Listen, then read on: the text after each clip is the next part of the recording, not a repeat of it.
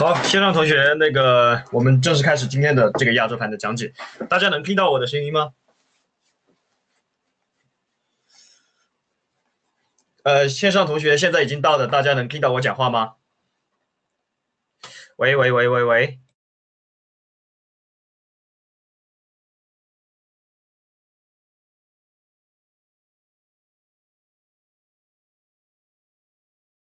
看看啊，OK，好的，好，那我们正式开始今天的一个那个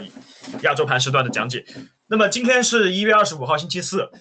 呃，昨天昨天在去给大家去进行讲解的时候，我们就讲到，昨天是一个非常非常重要的日子，就是在欧洲央行在公布利率决议之前，美元又已经破掉九十那个刹那，我觉得肯定市场上要发生一些。让大家意想不到的事情，结果昨天晚上我们就经历了一轮，呃，可以说是这个这个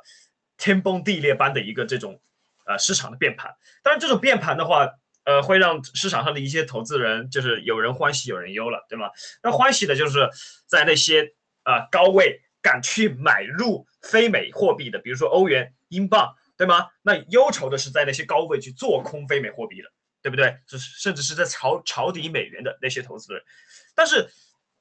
我们昨天再去给大家强调的一个问题就是，美元指数在破掉九十关卡，大家还记得我昨天讲过一句话吗？它一定会形成趋势的加速度，因为这种这种九十它的一个它的一个在技术面上的关卡，在这个基本面上的，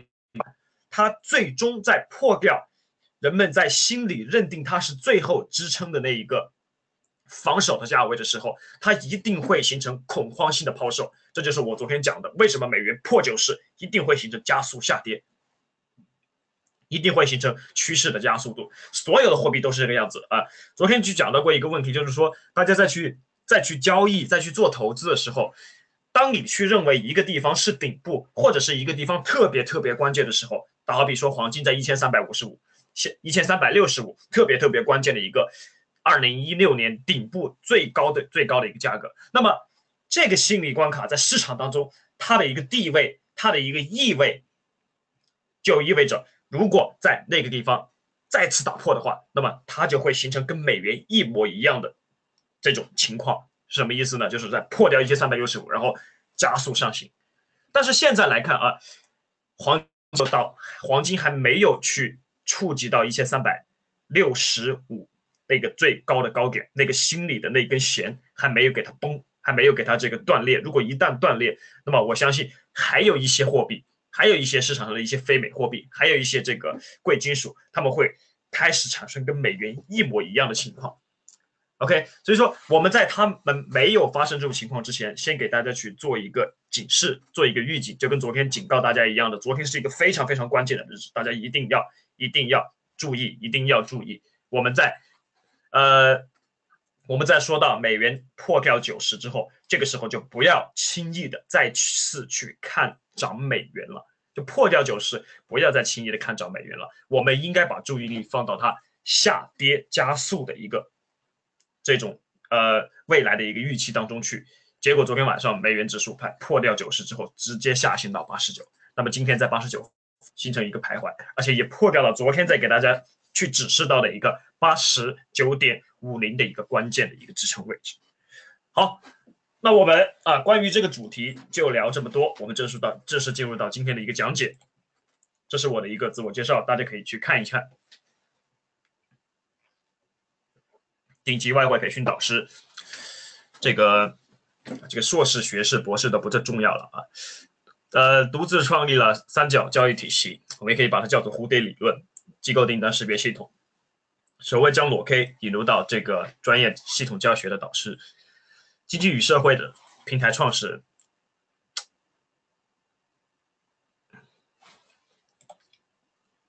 好，这个是我的这个英文的简历，啊，英文的这个自我介绍。OK，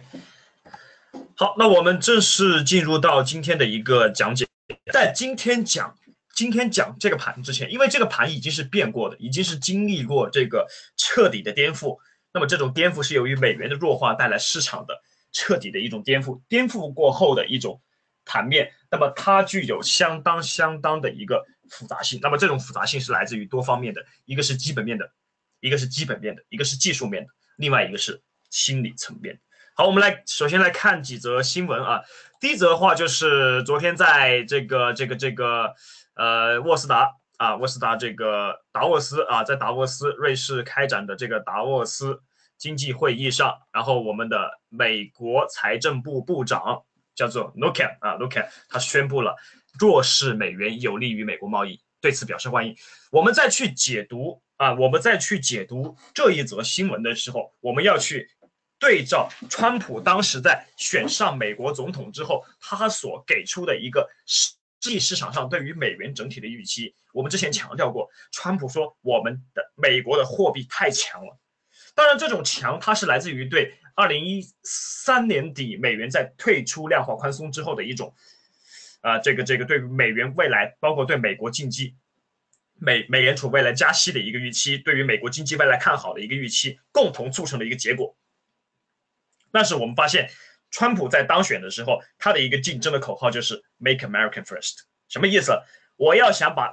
我要想把曾经作为应该是美国人所拥有的东西，比如说我的进口、我的经济、我的出口，然后呢，我的这些公司、跨国性企业，它本来就是美国的，我现在想让它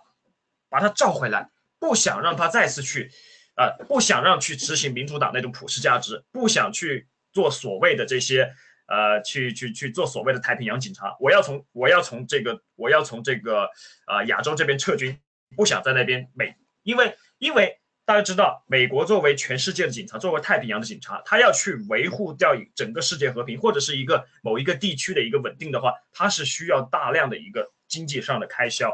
然后这这个经济上的一笔很大的支出，包括国防支出，它都是来自于纳税人。但是现在美国他说，我现在自己国家。还有这么多难民要处理，还有这个穆斯林问题，还有这个 ISIS 问题，对吗？还有这个周边啊，墨西哥这个移民、非法移民的问题。那么我现在不想去管理那些事儿了，包括我要退出巴黎协定，包括我要退出北约啊，说不定下下一步要退出呃呃退退出北美自由贸易协定，说不定下一步要退出北约，这也有可能。那么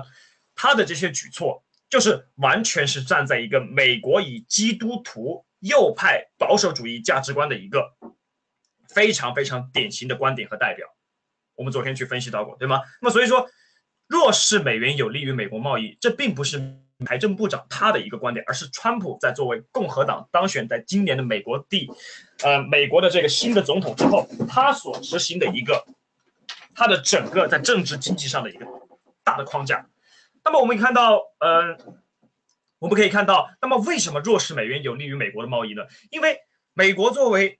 跟中国两个非常大的经济体，包括跟日本，那么它我们去讲到过，现在美国它的经济，我们可以说得上的东西就两个，第一个是科技，第二个是电影，那么出口一团糟，进口还可以，因为美美国是一个进口大国，什么都得靠进口，对吧？它用它的一个强势美元，曾经的强势美元去廉价购买别国的一些资源，廉价购买别国的一些这个这个这个商品和物品。我们去讲到过，美国人消费，全世界买单。美联储是全世界的央行，这是一个这是一个常识，也是个通识。那么现在，对于川普想去重新提振美国经济，他的最重要的这个出口点，他的一个最重要的这个点呢，我们讲它的底牌就是在于通过弱势美元去强化美国的这个出口的贸易。那么，我们也从中解读出来一个特别重要、特别重要的一个消息，它的一个最主要的对象就是针对中国。啊，川普使用弱势美元来增加美国进口、提振美国经济，它的一个最重要的，我们也可以说是打击目标或者是竞争对手，就是中国。中国在搞“一带一路”，好，以中国搞“一带一路”，把这个中东的一些国家，把东呃，把这个这个呃东南亚的一些国家，包括呃东北亚的一些国家，全部聚拢到一起。我本来美国的出口就不行，那么你这样子一做的话，那么必将会造成两国在经济上的进一步的失衡，因为本来两国就存在长期的贸易逆差。如果我去再使用一个更强势的弱势美元的话，啊，更强势的美元的，那么我的进口会越来越糟，越来越糟，这直接将影响到美国本本国人的这啊这种经济的利益。这是川普的观啊，这是川普的观点，但不一定对啊，但不一定对，但是短期我们看到它确实取得了很好的效果。我们看到现在美国的这个就业率每天在不断的攀升，我们看到出来的这个经济数据一次比一次好，美国的股市节节攀上新高，对吗？所以说弱势美元，它的一个最大最大的一个想去，呃，想去强化它的一个出口对象就是剑指中国。我们也看到最近川普再去搬搬出了一些对于这些外来进口啊，就是对于美国外来进口的这些商品去增加了关税。最典型最典型的就是太阳能，对吧？太阳能增加了百分之三十五的关税，还有这个还有这个钢材都去增加了关税，什么意思？对，就是要抵抗你的出口，来提整、重整、振兴自己国家的相关行业，哎，自己国家的经济。这是川普的一个政策，当然你说他自私吧，也没有问题，因为川普在当选之后，他的一个呃，他的一个支持率出现了美国的新低。但是我们发现，从那一次投票开始，就是川普的支持率在他当选之后出现了美国有史以来的新低，美国历史上有史以来的新低之后，到现在就再也没有刷，再也没有往下面去过了，就是他一直保持在那个低位，但是没有往下再行了，说明现在大家对川普的看法逐渐有一些改变，就是说。呃，尽管你大嘴巴，对吗？尽管你那个这个说些话都很不靠谱，尽管你就是说经常去跟媒体啊对骂，尽管你这个也没有太多风度，你骂我，我嗯，就是说他一句，他背后给你两句啊，就这个样子。但是由于能解决美国人肚子的问题，能解决美国人这个经济的问题，解决他们这个每天日常啊这些必须要的一些开销的问题，那么大家会对他有所，就是说对他的以前的种种离谱的行径会有所宽容和理解，甚至是。啊，这是我的一个观点。那所以说，我们看到现在弱势美元在今年一定会持续下去，啊，弱势美元在今年一定会持续下去。所以说，我们再去分析到美元在九十重要心理关卡的时候，也是恰恰对接了，在这个达沃斯论坛啊，这个美国财政部长说了，我们的弱势美元有利于美国的贸易，这样子两个因素叠加在一起，促使了美元在九十的一个加速的下行。OK，那么今天要关注的一个，今天要关注的一个非常非常重要的数据，就是来自于欧元区的这个利率决议。其实很有意思啊，就是昨天我们再去说，昨天是一个很重要的日子，因为昨天应该是为今天做准备的，因为我们昨天去分析到有一个问题，其实是有一些主次颠倒，就是说我们会认为欧元的利率决议的公布，它反倒会影响美元的下行，但是我们看到。现在是美元的下行，在欧元利率决议公布之前，已经把，好像是似乎是已经把欧元在公布利率决议之后，欧元的一波上涨的行情给消化掉了。能明白我说的意思吗？就是欧元今天在，大家可以看到，呃，看到这一则，看到这一则啊，看到这一则新闻啊，这个是欧元在欧央行利率决议前冲高回落，市场关注欧元是否放鸽。有一句非常重要的就是说，普遍预期。欧洲央行维利维持这个利率不变，而德拉吉发表讲话则认为可能会偏鸽派，打压此前市场所有释放的鹰派预期。那么我们给出的预测其实也是跟这个差不多，就是在他完全没有退出 QE 购债啊这个购债结束之后，才会去进行一个升息。所以说他在今天公布的一个数据，大概率的就是缩减购债规模，然后呢，在今年。可能会找一个时间啊，可能会找一个时间来推出 QE，这个时候大家应该准备好啊。这个时候欧元再再一次上涨，我们看到技术面上，我们昨天是已经先知先觉的在一点二三那个地方反到过，我们去对比了，我们来看看欧元啊，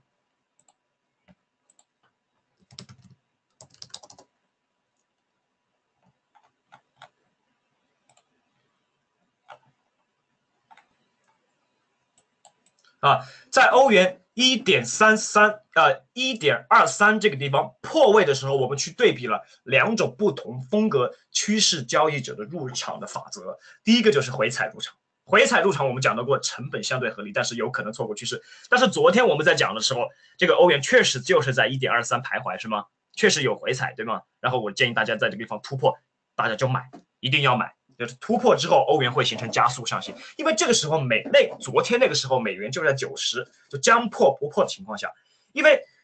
这个弦一旦崩掉，就是把这个弦拉得很紧之后啊，它一旦再拉紧一些，它就会断掉，一断掉之后，哎，就是一波大的行情。那么我们就在这个时候，应该是去做这个，应该是去做这个突破交易的准备。我们在前天就给大家去布局的，就是往上，我们的在做。我们在欧元顶部啊，一定是执行突破交易策略，而不是去执行这个呃震荡交易策略。什么叫震荡交易策略？就是突破跑到一个高点，比如说这个地方都是阻力，然后做空，对吗？跑到下面这个地方都是支撑，然后做多。我们应该是做突破交易策略，因为市场现在在昨天的时候就已经面临到一个即将迸发的时候，这个时候去执行突破交易策略一定不会有太大的问题。OK，那么我们分析到两种交易交易者风格入场风格的这个这个这个这个这个策略，第一个就是回踩，第二个就是趋势中入场。昨天我记得在课后有同学问我，他说老师我在一点二一点二三二零入场有没有关系？我就说没有关系，那你就是你你就是那个相对保守的，等它彻底的破掉一点二三之后，然后在一点二三回踩一些哦往上去一些确定趋势之后再入场没有问题。那么今天我们看到。我们给我们在给出止损的这个空间，实际上是一百个点。那么这一百个点的止损空间，我觉得放的稍微的有一些大，但是这个大也是对于在对冲掉这个有可能由于消息面带来上下冲击的这个风险，这个风险是来自于消息面可能会带来。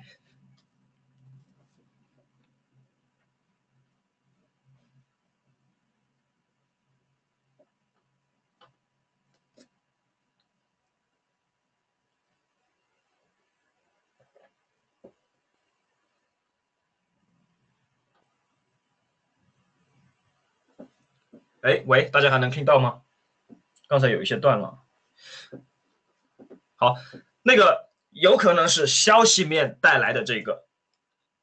上动，形成大型大型这种上下的引线，碳水干去制造你的止损。所以说我建议大家用一个相对相对相对比较大的一个止损的空间，一百个点。但是这个对也其实对了也错了，对在哪里呢？对在趋势确实判断对了，但是错的问题就是其实止损。不应该放那么大的，我觉得止损放在五十个点左右。其实，当然这是事后的反思了。就是对于这个欧元、美元的这个止损呢，我觉得放在五十个点左右，其实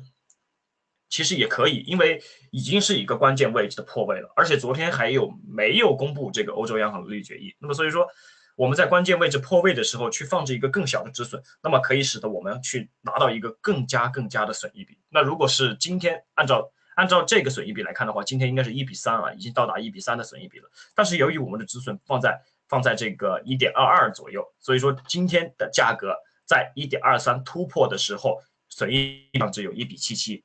不够不够那么的好。当然不能说每一件事都做的那么的完美啊，我们生活中也需要有一些遗憾。呃，所以说我觉得，当然了，我觉得在这种情况下，就是大多数情况下，在这种。关键消息、利率决议、会议公布的时候，去放置一个相对大的一个止损的空间，这种大多数情况下都不会错，啊，大多数情况下都不会错，我觉得是相对比较合理的，好吗？OK，好，那我们看到今天欧元对美元的一个走势啊，我们回到日线来看，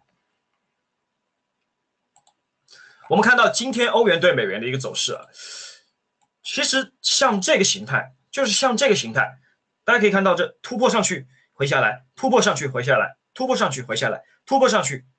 回下来。昨天有人讲到是一浪、二浪、三浪。我记得昨天在课中有一个同学问我这个问题，他说欧元对美元在这个地方见顶了。我说没有见顶，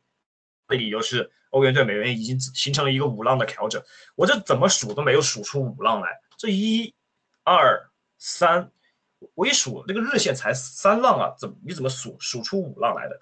所以说，我觉得。你就从这个波浪理论的角度来看的话，它的五浪也没有完结啊，所以说在一点二四这个地方，我觉得是一定是不能空的。那么昨天课中有同学问到我这个问题，说欧元在这个地方五浪结束了，要调要向下调整了，所以说我觉得我就我就我就课后我就看了一下，这哪里有五浪？一，再数一遍啊啊，就把这浪也加上去，一，就算把这浪也加上去，大家跟我一起来数啊，一，二。三、四，这不才第四浪嘛，对吧？最终应该是要五浪的话，那也应该是今天结束啊，也应该是以今天结束。好，我们就按照你这个逻辑往下去推。如果是波浪理论的话，那么这五浪的结束点，那么是应该是在今天喽，对不对？好，我们来看到日线，日线级别其实是从单从 K 线的一个角度来看的话，没有任何理由去做空。就是从这个强烈上涨的形态来看，是没有任何理由去做空的。就算去空，也得也得等到我们刚才去讲的，按照你这个逻辑来讲，就是五浪结束之后在顶部去空。但是有一个前提，一定是五浪结束，还有一个条件就是顶部形成。注意啊，五浪结束加上顶部形成，我们在条件具备的时候才能去空。所以说现在啊，一定一定不能去空欧元、美元，一定一定不能去空英镑、美元。OK，好，我们来看到四小时。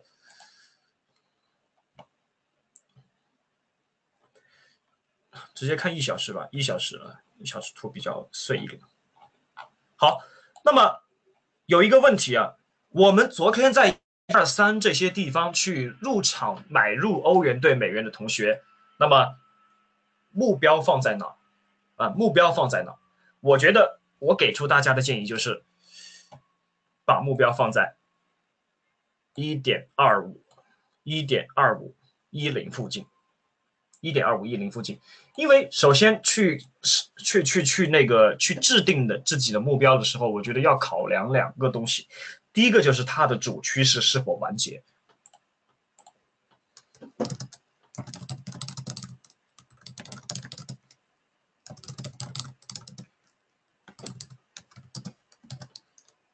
一，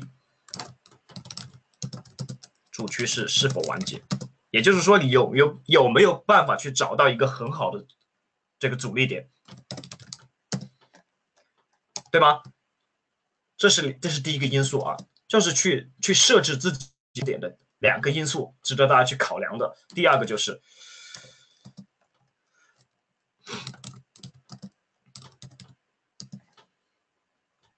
，OK，好，那么我们在。今后所有的交易里面，再去思考自己在哪出场。有就同学经常问到说：“老师，我我进了怎么怎么办？在哪出场？”啊，两个因素，两个要点。第一个，主趋势是否完结？怎么去判断是否完结？就去看上方的阻力点。我们刚才去讲到过，你怎么去使用它的第五浪调整过后啊？就是在调整过后顶部形成嘛？为什么会形成顶部？因为它碰到有效阻力了嘛？这个时候就是我们应该考虑出场的时候。那现在一定不能出场，就是一点二三这个地方。突破交易入场的同学，这个价格一定不能出场，因为它上涨的动能还在，而且主趋势还没有完结，它没有碰到阻力点，你就一定不能出。所有的交易都是这个样子啊，应该是继续继续的持有，哪怕你去持有到一这个地方，如果还没有碰到完结的阻力点，跟英镑一样，在一点四一那个地方并没有遇阻往下去走的时候，你就应该做的是持有它，而不是去丢掉你手里的单子。一丢掉之后非常可惜啊！丢掉之后非常非常可惜，好吗？那么第二个就是损益比是否合理。当每一笔交易，如果你能去做到一个很好、很好、很合理的损益比的话，那么我一般的给我自己内心的一个标准就是，我的每一笔交易，我如果能达到一个一比三附近的损益比，我就很满足了。大家去想啊，你的每一笔交易，当你的持仓已经有一个。一比一的损益比，一比二的损益比，到达了一个一比三的损益比。这个时候，我觉得，如果在没有去办法去衡量是否趋势完结的情况下，在没有办法去衡量趋势是否完结的情况下，或者在没有办法去找到一个有效阻力点的情况下，以拿损益比作为你的参考的标准，就是我心中给我自己定一个标准。当我达到一比二的时候，我就很满足了，对吧？自己的满足点，我可以很自信的去离场。这个时候我不管它涨多少或者是跌多少，我我我达到一比二我就走。第二个就是说，啊，第二个就是说，你可以把损益比设得更高一点，就是比如说达到一比三呐、一比四、一比甚至一比五啊、一比六，那么我就走。啊，这个是按照自己个人的一些标准。所以说这两个要素，这两个构成的要件是大家去综合考量自己出场点的一个非常非常重要的手段，好吗？那么接下来欧元兑美元使用跟踪止损。跟踪子啊，跟踪跟踪啊，我这普通话说的有些绕，普通话说的不好，使用这个跟踪止损，OK，好，我们昨天就也去讲到过，我们今天再去把它这个啊，这个女性是依附型，男性是主动型，因为男人有强大的征服欲，女人女人就就不一样，就是说我其实表达是说，我其实想表达的这个意思就是说，女女性其实比男性她要更加适合在趋势当中去做交易。因为女性很少去在一个上涨的趋势当中说我要去征服你，我要把你，我要一个空单把你做下来，很少啊。但是男人往往会有这样的冲动，真的是有这样的冲动，这个是有有经历过统计学的调查的，就是大多数男性啊，因为他自身与生俱来的这种呃领地欲望、这种征服欲望、这种战争的欲望，他很想就是说在，尤其是在自己，比如说在，比如说啊，打个比喻说，我们昨天肯定是有同志在这些在这些地方不断的做空的。啊，当然肯定不是我们交我们交易学院的同学，就是其他的地方的这些散户啊，或者是其他的一些这个这个机构啊，他们肯定觉得这个地方是一个大阻力，在这个地方做空的，对吗？啊，我就是不信邪，我就是不信邪，我就是要空，我就是要空。当然，这种我们去啊，就是经统计学计算，其实大多都是男人啊，女人是不会做这种事儿的。就是趋势在上涨，她考虑的因素，作为女性啊，她第一考虑的因素应该是去附着这个趋势去走。那所以说，我们去讲到这这女性她是依附型，男性是主动型，啊，所以从这个角度来看，我我个人认为啊，女性要比男性更加适合去在趋势的在趋势当中去做交易啊，在趋势当中去做交易。好，我们来看到美元指数啊，回归到美元指数再去讲一讲，为什么要再讲一讲美元指数？我是想跟大家去再去强调一个东西，再次说三遍，再再次说三遍，美元指数已经破位了，破位了，破位了。不要再多了，不要再多了，不要再多了。重要的是啊，强调三遍，为什么呢？因为昨天在给出大家美元在八十九点五零的一个，昨天我们想去它可能会支撑的一个位置，因为这个地方九十破位必定会加速下行了，对不对？可是我没有想到的是，它下行的速度这么快，晚间在给市场上带来了翻天覆地、风起云涌的变化。那这些变化于，当然也不是来自于所有的非美了，就是以英镑为头的。啊，英镑昨天涨得非常非常厉害的，涨了四五百个点。以英镑为头的这些镑系的镑系的货币的一个上涨，那么美元现在在八十九点五零之中又破了，现在又破掉了一个位置，就是八十九，破掉九十，破掉八十九点五零，破掉八十九，接下来该怎么办？继续往下破，就是我昨天的标题：美元怎么走？一路向南，南在哪儿？南在下。上北下南，南南在下，就是一路向下行。那么我们要做的就是说，去耐心持有欧元的多单，去啊，去去去看跌美元，然后去寻机去布局那些美元的空单。OK，那么接下来下一个目标，下一站就是八十八，现在是八十八点八六嘛，对吗？下一站看我这个蓝色虚线的地方啊，八十八，八十八将是美元歇息的地方啊，就是。跌了这么久，应该歇一歇了啊，在这些地方可能会歇一歇。那么这在八十八这个地方歇一歇的时候，我们就应该去等它反弹的时候去空日币，去空加币，去空瑞郎，去多欧元，去多澳币、纽币啊，去多这些。OK，那么我们接下来再看一看，我们接下来再看一看黄金啊。为什么又要讲到黄金？因为黄金作为我们昨天再去对冲这个美元下行上涨的一个非常重要的手段。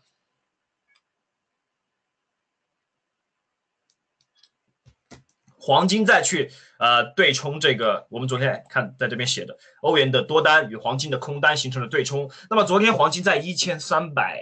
昨天黄金在一千三百是多少来着？我看看啊。OK。黄金在运行到这个运行到一千三百四十的时候，因为我们是有在这个地方空做空黄金的，对吗？然后在运行到这个地方的时候，就是建议大家出场了，因为情况不对劲，情况不对劲，建议大家出场了。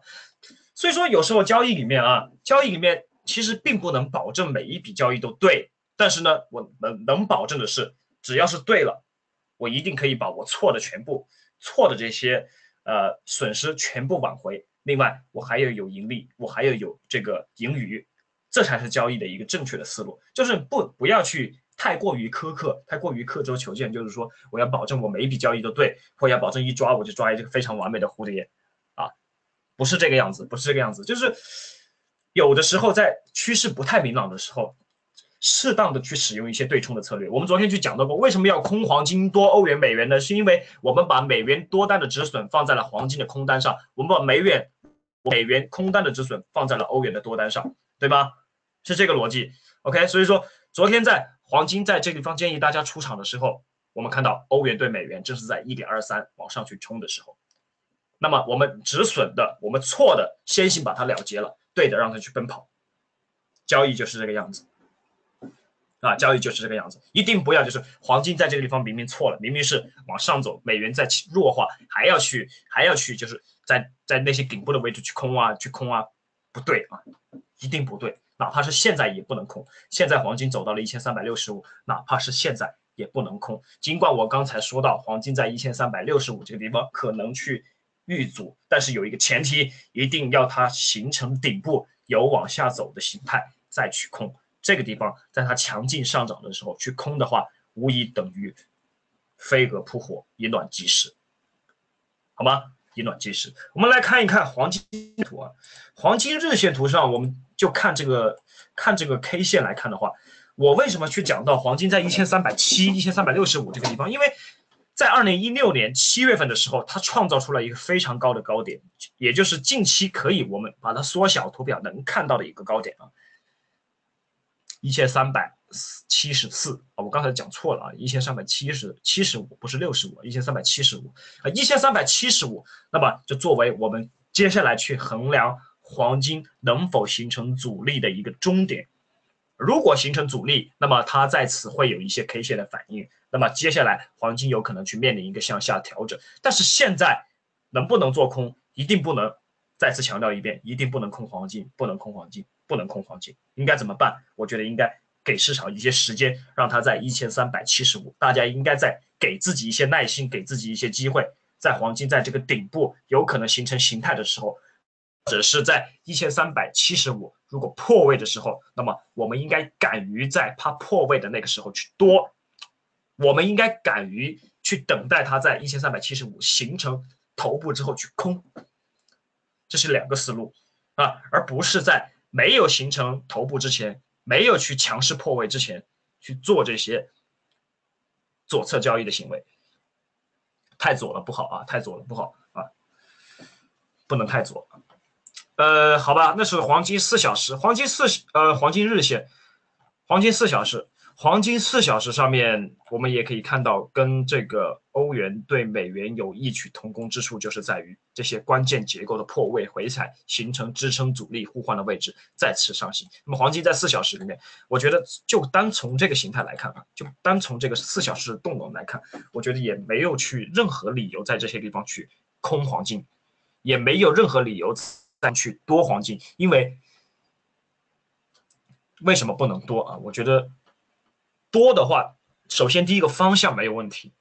但是要讲究一个就是位置。我们经常去讲的就是在交易当中啊，我觉得位置是我看最看重、最看重的一个因素啊。就除了趋势以外，就是位置。你在什么位置入场，决定了你的交易成本，决定了你的出场规则，决定了你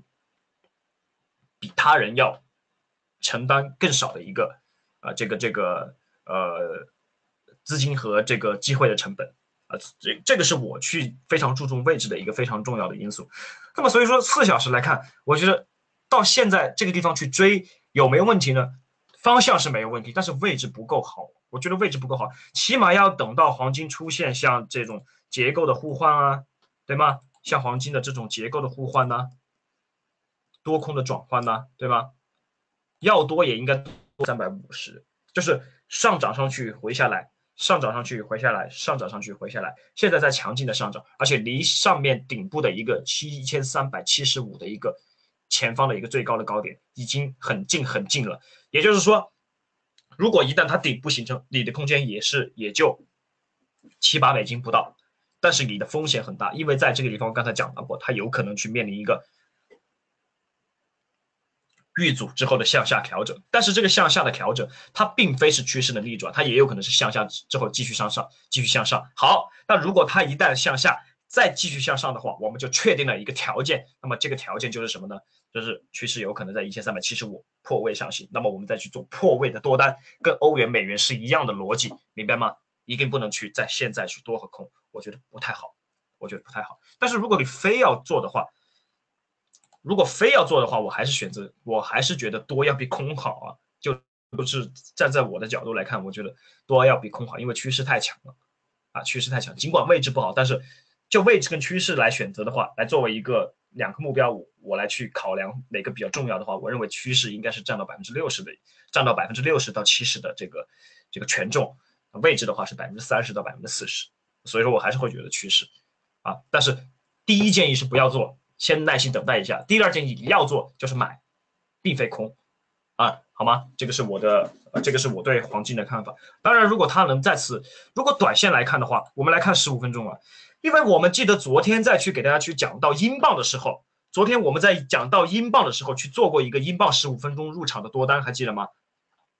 好，那么我们看到，如果这个十五分钟啊，十五分钟里面在四小时里面它有这种结构的互换，在十五分钟里面也有这种结构的互换，它也是来自于这种多空的转换。那么接下来我们看到在一千三六十一破位之后上行，那么如果它接下来。有一次反弹的机会到一千三百六十一这个附近，那么我们是不是也可以跟着这个结构去做呢？我觉得也是可以的。所以说你要多的话，我觉得也是应该多在一个它回踩的位置，它一回回来的位置再去多，我觉得会好一些，对吧？起码止损知道怎么放，对吧？这种短线，这个十五分钟短线，起码知道止损怎么放，止损放置在，我觉得放一些，放一点就可以了，放在一千三百五十八点五零。五十八点四六，OK，然后第一目标，我觉得第一目标当然是放置在一千三百六十五，也就是它现在的价格，或者是放在这个呃这个地方的一个小结构啊，一千三百六十四。那第二目标的话就是放在一千三百七，OK，一千三百七。但是我建议啊，我建议就是黄金还是再耐心的去等待一下，等待它冲到一千三百七再说，好吧？这个是我对黄金的建议。英镑啊，说起英镑。有人欢喜有人忧啊，英镑有人欢喜有人忧。好，我们看到英镑日线级别啊，这个太直观了，就是说不要去想多了，就是上涨，不要去想着说还有什么回踩呀，或者是有没有机会回踩再做再做多啊啊，我觉得没有，这个就是我昨天讲的第一种趋势交易的这个第一种趋势交易的这个优势，它就体现出来了。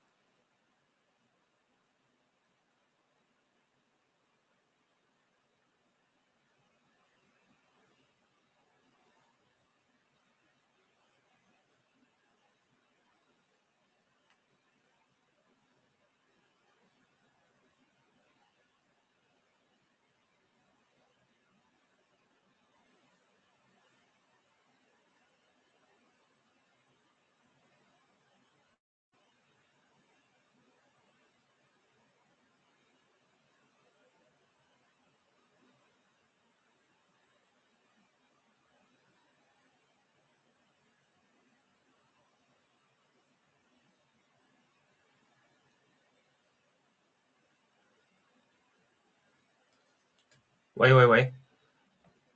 我卡了啊！喂，大家现在能听到我讲话吗？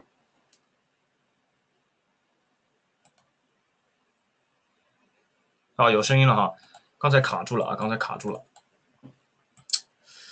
好，那么我们看到，我们再再去昨天去分析到趋势交易者的两种类型的时候，那么在英镑里面，它就得到，它就显现的尤为明显，就是第一种趋势交易者的这个优势，它就体现出来了，就是英镑它就不回踩了，不回头了嘛，怎么办？对不对？不回头，如果不想错过这笔交易，那么英镑就是应该是在它突破，在它突破的高点去突破的高点去买入，就直观上来看，英镑现在就是一个上涨的趋势，不要再去想。不要再去想它回到一个什么位置，回到一个低点呢？回到一个前期的支撑啊，回到一个前期的阻力位啊，我再去买啊，这种可能性比较小，因为上涨的态势太强太强。那么问题是，如果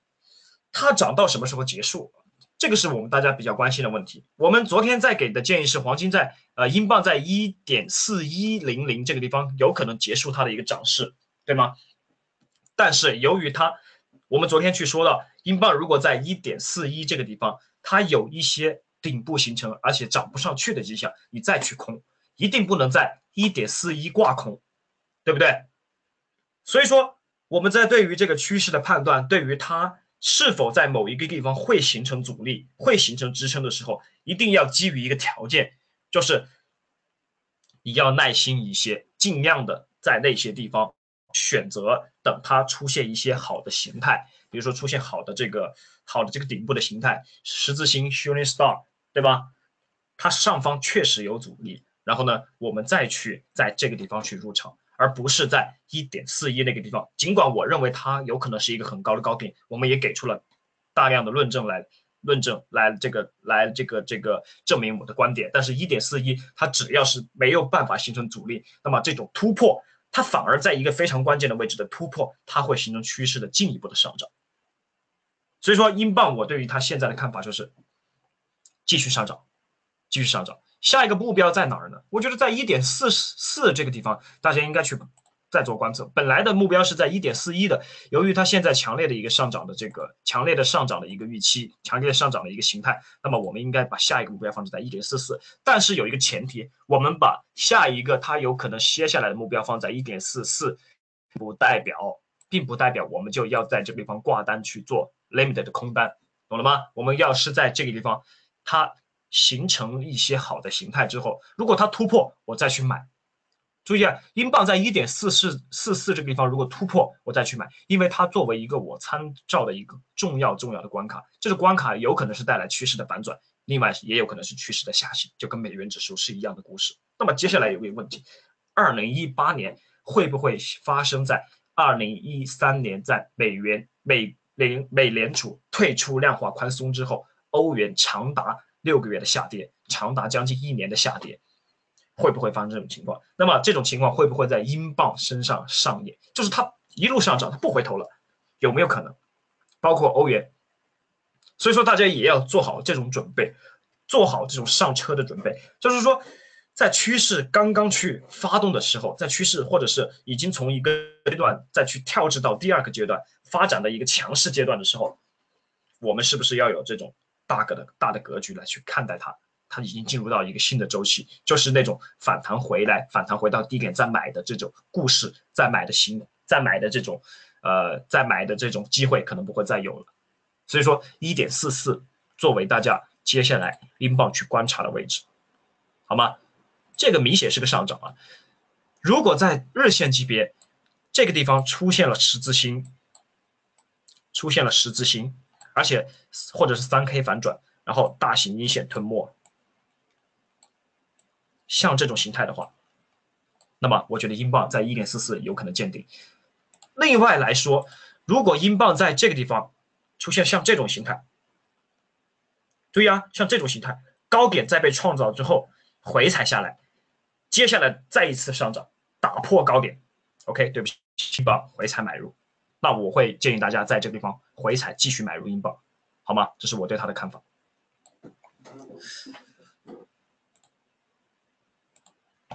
看到四小时，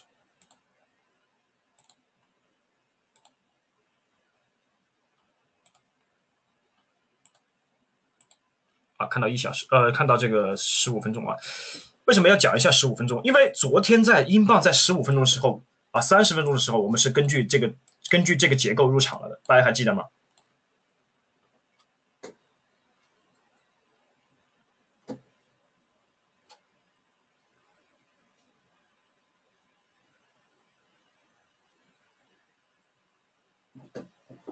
英镑在十五分三十分钟的时候，我们昨天是有根据在这个上涨下来回踩，上涨下来回踩，上涨上去，再次回踩到蓝色的区间，我说让大家在这个地方去做一个英镑的。短线的空单，短线的多单，还记得吗？然后把损益比放在一比一，这个单其实也没有问题。问题就是我们的这个目标太过于保守了，因为我们昨天在给大家的建议就是，英镑在一点四一这个地方，它有可能形成一个顶部，所以说我把目标放置在顶部，这个观点没有问题，这个这个逻辑也是没有问题的。问题是它后来冲上去了，它后来冲上去了，所以说这个短线后面的这些。后面这一波上涨啊，我们是都没有都没有去做到的。但是如果有做到的话，可见，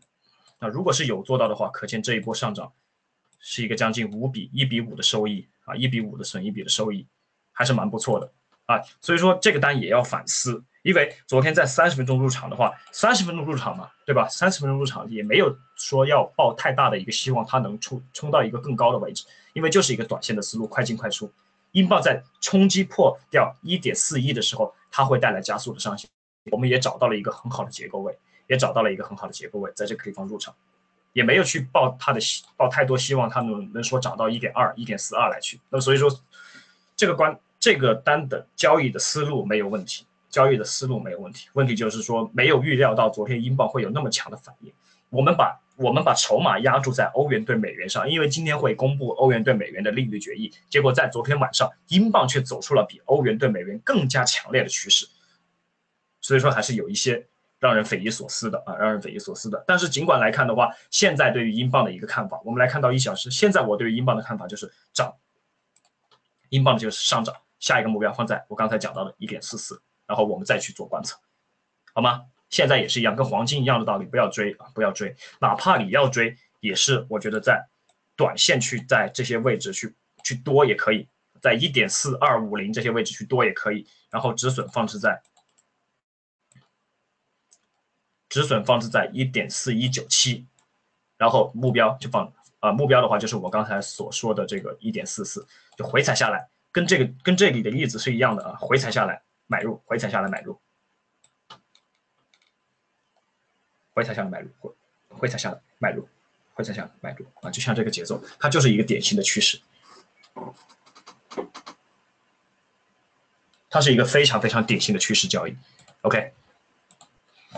好，那么我们接下来再看一看这个，我们接下来再看一看澳币对你美元对这个澳币啊。我们刚才去讲到过，我们刚才去讲到过这个，我们刚才去讲到过这个非美货币里面什么适合去做，什么不适合去做。但是有一个货币就是澳币对美元，我觉得它的顶部啊，好像要比这些欧元的、英镑的顶部要来的那么的明显一些。原因是什么呢？因为我们看到。欧元呃，这个澳币对美元，它现在也是来到了一个二零一七年九月份十呃九月十五号的一个高点，而且当然现在不是适合去空了，但现在不适合去空，就是说它在这个地方去构筑顶部的概率，它在这个地方去构筑顶部的概率比较大，因为它很早很早之前就已经从。突破掉零点八零了，然后再上上涨到啊零点八一。那么在这个地方，如果我觉得它如果还是没能突破上去的话，我会考虑在这些地方去空澳币啊，我会去空澳币的，我不会去空欧元，不会去空英镑。就是在非美货币里面，我觉得唯一有空的可能性的是澳币。就说澳币这个大家要做做一个主要的观测。最近的话，因为那些非美货币都走到了一个很高的位置啊，澳币在这个地方尽管它很高，但是我觉得它。就从一个单纯的从一个盘感的角度啊，我觉得它构筑顶部的概率稍稍的会要大一些。所以说，如果它没能去破掉一点八一的话，我我反倒会考虑在这些地方空二 B。我们看看四小时吧。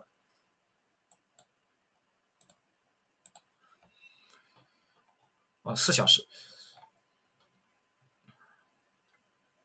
OK，四小时。那么四小时，我们看到澳币如果在呃，如果出现了这个头肩顶啊，出现了或者是出现了双顶的结构，什么双顶呢？比如说现在在触及到零零点八一的时候，大型阳线上涨，回踩回来，再次大型阳线上涨，再次回踩回来，然后再次上涨，就跟我们之前在分析纽币的时候是一样的。如果这个地方形成了双顶的结构啊，形成这种双顶的结构，而且这个地方的高点不能破前高。那么我会考虑在一点零点八一这个地方，它等它再次回踩上来的时候去空它，啊，前提是要形成双底。现在这个价格不适合空，现在这个价格不适合空，这样的结构出来的话，或者是出现这个头肩顶，或者是出现头肩顶，我们把它擦，把它擦除一下。那头肩顶呢，这个地方是左肩，我期待一个顶部再次形成，然后构筑右肩，啊，在这些地方去空，在这个空间去空。好吗？这个是我对于澳币的看法。现在来看，它可能是一个正在处在一个筑顶的过程当中，它可能正处在一个筑顶的过程当中，不太适宜去，不太适宜去对它进行这个呃头部的交易，好吧？我们看一小时啊，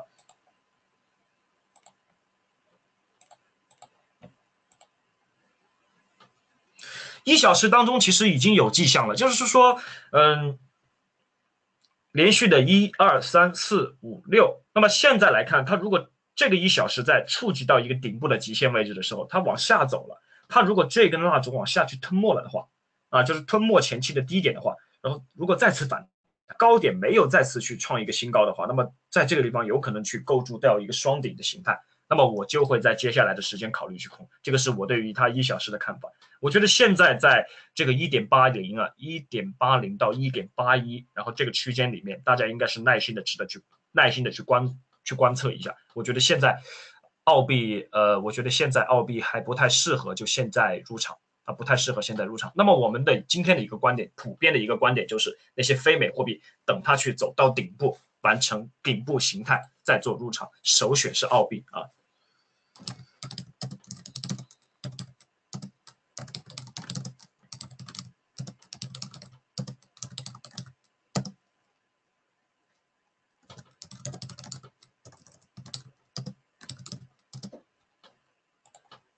非美货币里，大多都在去，应该现在的心态就是去等住，等待形态的构筑，然后呢，首选澳币。我觉得澳币在这里发生顶部形态的概率要大于其他的非美货币，甚至要比纽币也要高一些。OK，所以说，呃，大家在啊，大家如果想空非美的话，我觉得应该是去把自己的注意力关注在澳币上，而不是去关注在英镑，不是去关注在欧元的空单上，尽管他们都走到了一个很高的位置。好吧，这个是我对于这个，呃，啊，这个是我对于这个澳币的看法。看一下有同学是提什么问？纽币日线也不好看啊。纽币我们来讲一讲啊。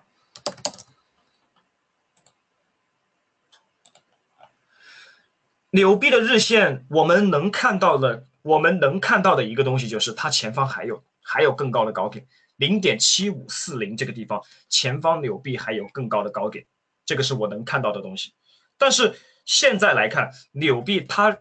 尽管这个地方也有一些阻力，它去就是在零点七三六九这个地方，尽管也有一些阻力使得纽币在此受阻，但是从这个 K 线的结构来看，我们如果去解构它的话，我们发现如果前方的一个更高的高点离它这个高点很近的话，那么它往上继续去涨的概率实际上要是比较大的。但是如果我们去把它前面的这个前面这部分不看，如果这一部分不看的话，那么它就会跟澳币有一个非常相同的一个相同之处。大家注意了吗？它就会跟澳币有非常相同的之处，就是顶部在这个地方的一个构建，就是顶部在这个零点七三六八，在这个地方有可能形成顶部。但是由于它的两个顶部的这个距离隔得太近了，所以说我反倒觉得澳币还有一部分上涨的空间。我反倒觉得，呃，纽币还有一部分上涨的空间。我所以说，我觉得从这个非从这个商品货币里面来看，日线角度来分析来解读它的话，纽币似乎要比澳币的顶部那么的明显。所以说，我不建议再把空单或者是你空的注意力放置在纽币上面。我们来看到一小时啊。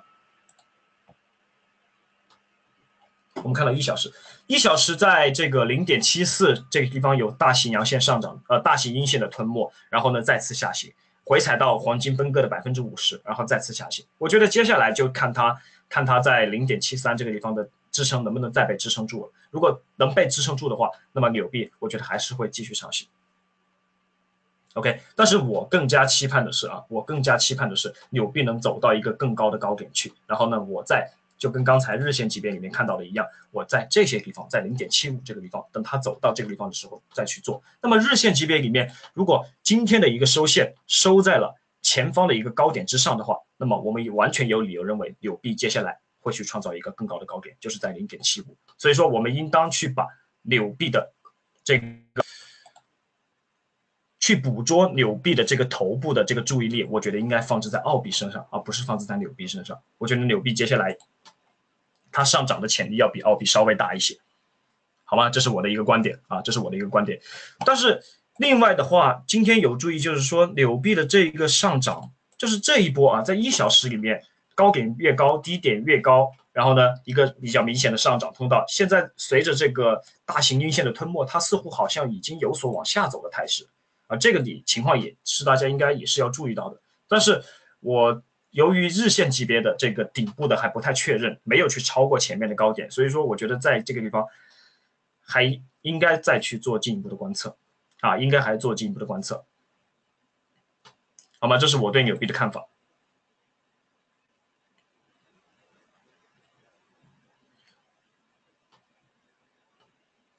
好，那么接下。接下来我们把今天的一个今天的一个主题再次强调一遍啊，就是那些今天的主题就是这些非美货币里面所有的以英镑、欧元为主的两个非美货币，大家应该去耐心等待顶部的构筑。然后呢，欧元一点二三多单突破交易多单的同学去耐心持有，跟踪它的趋势。英镑等到一点四四，澳币有可能在日线级别构筑顶部，纽币暂时观望，这是我的一个观点。所以说今天的一个大的态势就是这些非美货币以欧元为首的耐心的持仓，然后呢，其他的按兵不动，等待是否有顶部或者是突破的形成，然后呢，再次去把自己的交易执行进去。啊，大家今天应该有一些耐心，不要因为美元的这个下跌，然后这些非美货币都走到了一个很好的位置，走到了一个觉得很好的位置，啊，然后忽视它的趋势。这里有一句非常重要的话啊，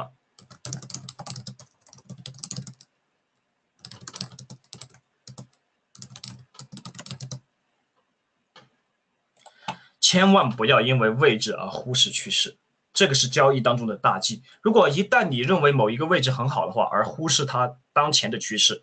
尽管有时候，呃，尽管有时候一些，比如说一些品种在走到了一个非常好的位置，它也满足你的交易形态，但是它的趋势上涨，你非要做个下跌的话，这样子的比往往会比较危险啊！不要因为，千万不要因为位置而忽视了趋势啊！这个是今天在。今天的这个亚盘结束的时候，给大家的一个非常非常重要的这个建议，好吗？好，那我们今天的这个亚洲盘的讲解就到此结束。我们明天在下午的同一时间再跟大家去进行讲解。祝大家愉快，明天再见，拜拜。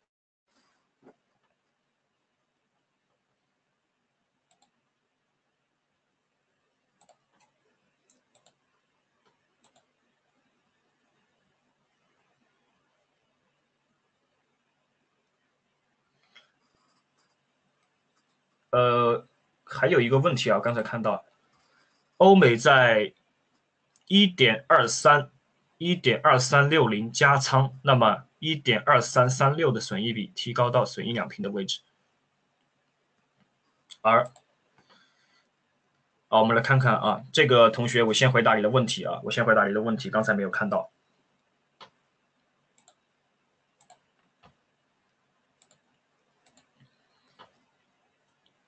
一点三六的损益比提高到损益两平的位置，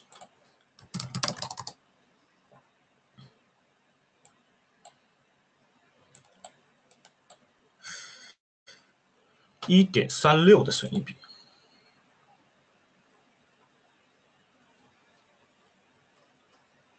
一点二三突破一点二三六零加仓，然后呢？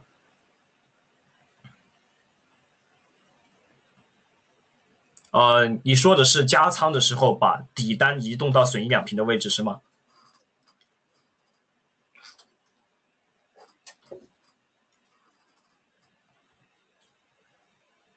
这个呃，加仓之后把底单移动到损益两平的位置，呃，我的建议不是啊，Jason，我的建议是你在一点二三六零之后加仓，应该把一点二三六零的止损移动到你加仓的入场点，明白吗？就是移动到一点二三六零，移动到这儿来，你在这儿加仓嘛，是吧？把你的损益比移，把你底单的损益比移动到一点二三，你加仓的位置，去保证你如果欧元对美元这次下下调的幅度够大的话，去保证你的底单是一个还有有盈利的状态。而不是去一个损益两平的状态，因为你在这个地方已经有加仓了，你另外一部分仓位已经暴露在风险之外了。如果你这一部分回踩到你的入场点的话，那么你的第二次加仓的这个第二次加仓的这个利润就没有了。而且，它如果再次往下去下行，那么你第一个加仓的利润也没有了。那所以说，我觉得从这个角度来看的话，我我我建议你把这个，我建议你把这个底单的这个止损移动到你加仓的位置。好吧，这样子的话更加保险一些，你就移动到一点二六吧。好的，好。那么我们明天啊，明天下午再再跟大家去进行继续更加深入讨论，然后突破的单啊，欧元对美元突破的单，耐心持有，使用跟踪止损啊。止损，然后呃也不排除了，也不排除大家现在就把止损移动到这个呃一点二三、一点二三五八、一点二三六零这个附近啊，去跟踪这个趋势。如果你觉得它还会去上冲到一个高点，在这个消息公布之前还想去呃耐心的持有它的话，那你就一定要做，首先一定要保证一个目标，就是把止损移动到入场点位啊，把止损移动到你在一点二三的这个地方。OK，好的。那我们明天再见啊，拜拜。